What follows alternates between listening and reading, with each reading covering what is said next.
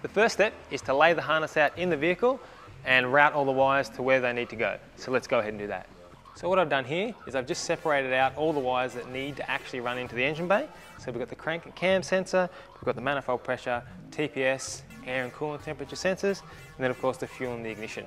Apart from that, everything else uh, is staying in the cabin. So let's go lay this out.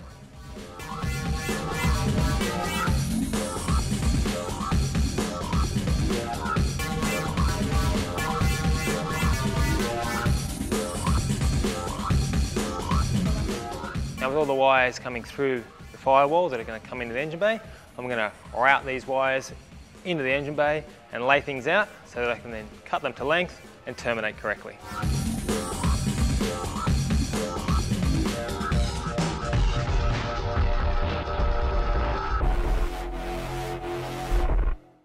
It's important to route your wires away from turbochargers and exhaust manifolds so that the wiring doesn't end up melting.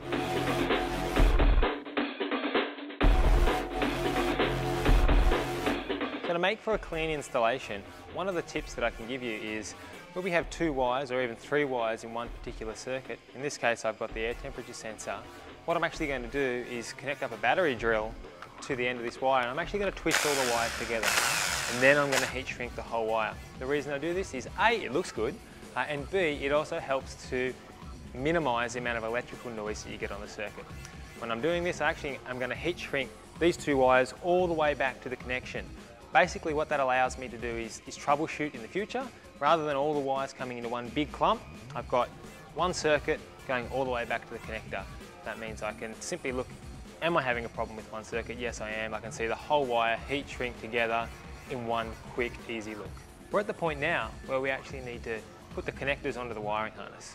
It's important to note a couple little tricks.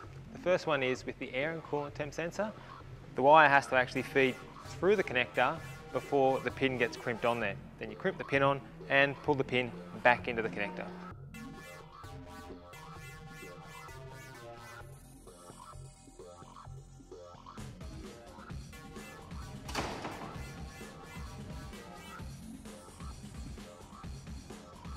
Just one little tip that I've got there is we've actually created different separate breakout looms for both the injection and the ignition system here. The reason we do this is because these are the parts that are actually often upgraded in the vehicle.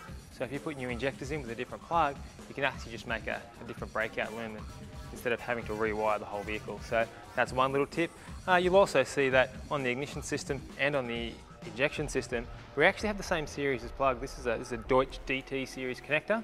But so that we can't actually get it wrong when we put it back together, what we do is we put the male plug on the injection system and I put the female plug on the engine bay side of the ignition system. That means we just simply can't get them wrong. So whenever you're using the same series of connector, if you've got both six ways or five ways or four ways, if they're both in the engine bay, it's good to swap them around on the harness and the engine side so you cannot get them confused when you're putting it back in. Now that we've finished wiring up the engine bay, all we need to do is connect all the sensors. Once the sensors are all connected, we're actually going to go into the vehicle. We're going to connect up the power, the ground, and the ignition switch, and then we'll be able to go online with the ECU and actually set it up and start tuning.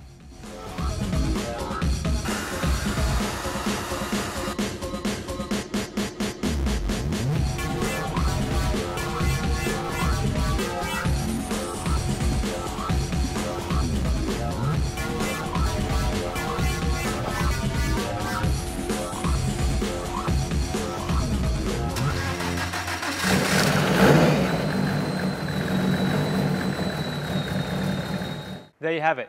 We've wired up the engine bay, we've been into the cabin of the vehicle, we've actually connected the ECU, we've hooked up battery power and ground, we've also hooked up the ignition switch. So we've got it started, we've set the base timing, that was very important, engine's starting to run.